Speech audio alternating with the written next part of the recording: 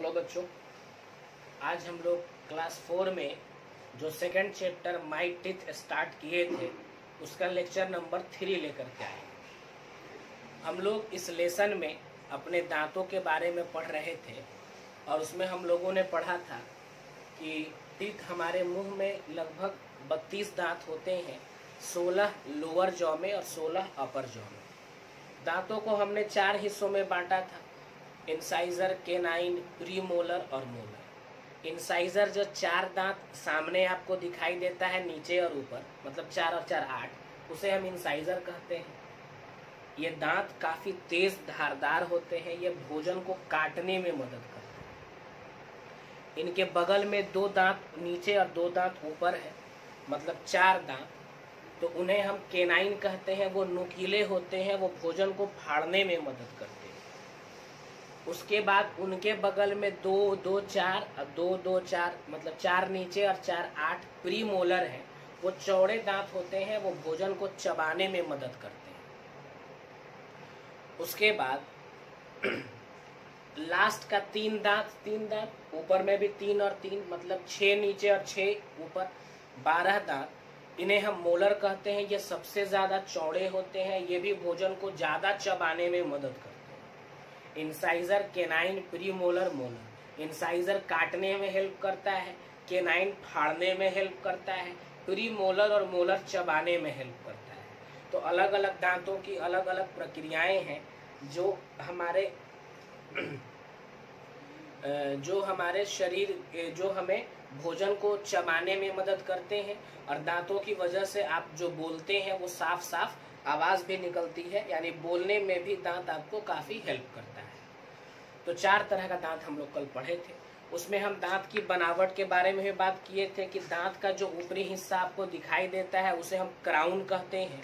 ये बहुत ही hard material से बना होता है, जिसे इनेमल कहा जाता है। बहुत हार्ड होता है उसके बाद दांत की जो जड़ें रूट जो दांत का है, वो नीचे जा कर के जबड़े की हड्डी में फंसा हुआ रहता है। और एक मटेरियल होता है जो दांत के रूट और जबड़े की हड्डी को जोड़ करके रखता है, उसको सीमेंटम कहा जाता है। वो भी हड्डी की तरह होता है। और दांत के अगल बगल का जो मांसपेशी आपको दिखाई देता है, मांस उसे हम गम्स कहते हैं, मसूड़ा कहते हैं। है ना? और दांतों और मसूड़ों में भी पतली पतली नसें होती हैं, खून की नसें और नर्व होती हैं। इसी वजह से दांतों में भी आपको दर्द का एहसास या किसी भी चीज़ का सेंसेशन एहसास, ठंडा या गर्म का एहसास आपको होता है। है ना? आज हम लोगों का टॉपिक है वाई डू टीथ डीके आखिर हम लोगों का जो दांत है, वो सड़ता क्यों है? आप देखते होंगे कि आप बच्चे हैं या फिर बहुत सारे किसी भी उम्र के इंसान का दांत सड़ जाता है। है ना? तो आखिर दांत सड़ने का कारण क्या है? तो दांत सड़ने के बहुत सारे कारण हैं।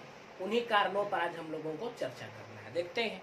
तो germs are very small living things which can harm us germs समझते हैं। जिसको हम लोग जर्म्स में क्या आता है? बहुत छोटे छोटे जीव होते हैं जो हमें नुकसान पहुंचाते हैं। जर्म्स की वजह से हमें बहुत तरह की बीमारियाँ होती हैं। जैसे जर्म्स में बैक्टीरिया आया हुआ है। बैक्टीरिया है, वायरस है, फंगस है, बैक्टीरिया बहुत तरह का बैक्टीरिया है, वायरस बहुत तरह का वायरस है, जैसे कोरोना वायरस, अभी जो फैली हुई है बीमारी, ये भी एक तरह का वायरस है, ये भी एक तरह का जर्म्स है तो इससे कितनी बीमारी फैल रही है, कितने लोगों की जान चली गई, है ना? यानी हम ये समझ रहे हैं कि जो जर्म्स हैं, उनसे हमें नुकसान है जर्म्स से हमें नुकसान है। जर्म्स हमें बहुत तरीकों से नुकसान पहुंचाते हैं। जर्म्स की वजह से हमें बहुत तरह की बीमारियाँ होती हैं, है ना? देखते हैं तो बहुत तरह के जर्म्स होते हैं। जर्म्स को हम लोग के माइक्रो ऑर्गेनिज्म कहेंगे, ये हम दिखाई नहीं देते हैं, बहुत छोटे होते हैं। कुछ जर्म्स ऐसे होते हैं जो हमारे मुँह में भी पाए जाते हैं, है ना? हर टाइम जब हम कुछ खाते हैं तो कुछ खाना हमारा जो है, वो दांतों में फंसा हुआ रह जाता है। चलिए समझते हैं। आप कोई चीज़ खाते हैं तो खाने के लिए आपके दांत उस खाना को तोड़ने, फाड़ने और चबाने में मदद करता है। तो खाना का कुछ हिस्सा आपके दांतों के बीच में फंसा हुआ रह जाता है। इसीलिए कहा जाता है कि सुबह और रात खाने के बाद हमेशा ब्रश करके सोना चाहिए। क्योंकि जो दांतों में आप जो दिन भर खाते पीते हैं, अगर वो दांत में फंसे हुए हैं तो रात में अगर आप ब्रश करके सोएँगे तो वो आपके दांतों से निकल जाएगा। है ना? देखते हैं। तो the germs feed on the sugar that is present in the food and produce a kind of acid मतलब कि आपके मुँह में मौजूद जो जर्म्स हैं, आप खाना खाएँ और खाना आपके दांतों में फंसा रह गया तो आपके खाना में बहुत तरह के न्यूट्रिएंट्स होते हैं। जैसे कि आपके खाना में कार्बोहाइड्रेट है प्रोटीन है फैट है विटामिन है मिनरल्स है रफेज है तो कार्बोहाइड्रेट जो है वो दो तरह का होता है। उसमें शुगर और स्टार्च होता है। तो जो शुगर है वो जो मुँह में जर्म्स मौजूद है, उस खाना में मौजूद कार्बोहाइड्रेट में मौजूद शुगर को वो खाने लगता है। वो जर्म्स जर्म्स आपके मुँह में जो मौजूद था, वो उस शुगर को खाने लगता है। और जब उस शुगर को खाने लगता है तो वो एक तरह का एसिड प्रोड्यूस करता है। एसिड का मतलब आप वो एकदम तेजाब मत समझिएगा एसिड एक केमिकल का नाम है। आगे की क्लासेस में एसिड के बारे में आप पढ़िएगा डिटेल से। तो एसिड वो एक तरह का प्रोड्यूस करता है। कौन? जर्म्स कहा? जो आपके मुँह में मौजूद है। क्यों प्रोड्यूस किया? क्योंकि आपके दांतों के बीच में जो भोजन फंसा हुआ है, उस भोजन को वो खाता है। उसमें जो शुगर मौजूद है, उसको खाता है। और उसको खाने के बाद वो एसिड एक प्रोड्यूस करता है। आगे देखते हैं। और ये एसिड आपके दांतों के, को नुकसान पहुंचाता है। ये जो एसिड है, आपके दांतों को नुकसान पहुंचाता है। इससे आपके जो दांत हैं, उन दांतों में हल्का होल हो जाता है जिसको हम लोग कैविटी कहते हैं। क्या बोलते हैं? कैविटी और अपने देहाती भाषा में हम लोग कहते हैं कि दांत में खुड़ला हो गया है है ना? दांत में होल हो गया छेद हो गया है उसको कैविटी बोलते हैं। और this is the reason why you must not eat or drink anything except water after you brush your teeth at night इसीलिए कहा जाता है कि जब आप uh, रात में खाना पीना खा लें और आप ब्रश कर लें और ब्रश करने के बाद आप कुछ खाए नहीं, पानी वगैरह पी सकते हैं, कुछ खाए नहीं। क्योंकि ब्रश करने के बाद भी अगर आप कुछ खाते हैं तो उस खाने का कुछ हिस्सा आपके दांतों में फंसा हो सकता है, फंस जाए। और जब वो फंस जाएगा तो आपके मुँह में मौजूद जो माइक्रो ऑर्गेनिज्म जो जर्म्स है, उसमें कार्बोहाइड्रेट जो मौजूद है, उसके शुगर को वो खाएगा। और शुगर को खाएगा तो उससे एक एसिड प्रोड्यूस होगा। एसिड निकलेगा और उस एसिड से आपके दांतों में छेद हो जाएगा, कैविटी हो जाएगा, खुड़ला हो जाएगा, जिससे वहाँ के नर्व्स डैमेज हो जाएँगे। आप कोई भी ठंडा, गर्म, तीता, मीठा कुछ भी खाएँगे तो आपको दर्द होगा। है ना? आगे देखते हैं।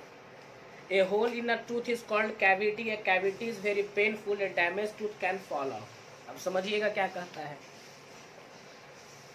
अगर आप खाना खाएँ और खाना खाने के बाद आपके दांतों में फंसा हुआ जो भोजन है, अगर आपके मुँह में मौजूद जो जर्म्स हैं, वो जर्म्स उस भोजन को खाने लगेंगे, उस भोजन में मौजूद कार्बोहाइड्रेट को खाने लगेंगे कार्बोहाइड्रेट में शुगर शुगर को वो खाने लगेंगे तो एक एसिड प्रोड्यूस करेंगे और उस एसिड से आपके दांत को नुकसान पहुंचेगा। क्या नुकसान पहुंचेगा? तो उस एसिड से आपके दांतों में छेद हो जाएगा और छेद हो जाएगा। उस छेद को हम कैविटी कहते हैं। और कैविटी से काफ़ी दर्द होता है। कैविटी से काफ़ी दर्द होता है और कैविटी जब हो जाएगा तो धीरे धीरे वो दांत आपको सड़ने लगेगा, सड़ करके पूरी तरह से गिर जाएगा। और कैविटी का कोई इलाज नहीं है परमानेंटली इलाज नहीं है। कैविटी अगर खुड़ला हो जाता है तो दांत को उखड़वा दिया जाता है, कबरवा दिया जाता है, दांत को निकलवा दिया जाता है, क्योंकि उसमें मसाला वगैरह भरते हैं। तो उससे भी वो परमानेंट उसका उपाय नहीं है परमानेंट इलाज नहीं है, उससे हमेशा आपको वो बीमारी ठीक नहीं होने वाली है। लेकिन कैविटी से बहुत दर्द होता है। तो आज हम लोग सीखे कि हमारे दांत के सड़ने का मुख्य कारण क्या है। सबसे जो मेन रीजन है दांत के सड़ने का वो क्या है। तो हम जो खाना खाते हैं, वो खाना हमारे दांतों में फंस जाता है और जो दांतों में फंसा हुआ खाना है मुँह में मौजूद जो जर्म्स है, उस खाने में मौजूद कार्बोहाइड्रेट को खाने लगता है। कार्बोहाइड्रेट भी दो तरह का होता है शुगर और स्टार्च तो शुगर को जर्म्स खाता है। और शुगर को जब खाता है तो वो एक एसिड प्रोड्यूस करता है। और वो एसिड बहुत खतरनाक है हमारे दांतों के लिए। वो एसिड हमारे दांतों के करीब जाता है तो दांतों में धीरे धीरे धीरे, कुछ दिनों में मतलब दो महीना, चार महीना, एक आध साल, में वो हमारे दांतों में छेद कर देता है। और दांतों में जब छेद हो जाता है तो उससे, उस छेद को हम लोग कैविटी कहते हैं, जिससे काफ़ी हमारे दांतों में दर्द होता है, काफ़ी तकलीफ़ होती है। और उसका फिर हम लोग डॉक्टर के पास जाते हैं, उसका इलाज करवाते हैं। तो इससे ज़्यादा ज़रूरी है कि हमारे जो दांत हैं, उसकी हम सही तरीके से देखभाल करें, ताकि हमारे दांत रातों में हम जो खाना खाते हैं, वो हमारे दांतों के बीच में फंसा हुआ ना रहे, और ताकि कैविटी की प्रॉब्लम ना हो। ठीक है? आज यहीं तक दैट्स ऑल